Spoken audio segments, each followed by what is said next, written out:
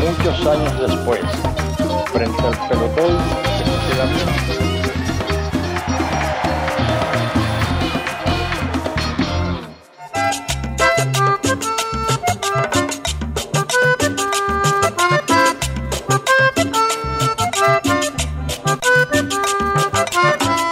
Un mediodía que estuve pensando, un mediodía que estuve pensando en la mujer que me hace soñar.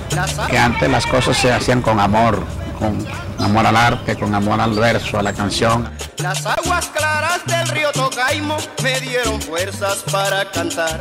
Era más que todo lo que se vivía en el día se podía narrar en la noche en una canción. Cuando Matilde camina, hasta sonríe la sabana. Todavía no damos, no, no- no damos los brazos a torcer porque todavía tenemos algo que brindarle al mundo. Leandro Díaz, un personaje del Caribe para recordar en el Bicentenario.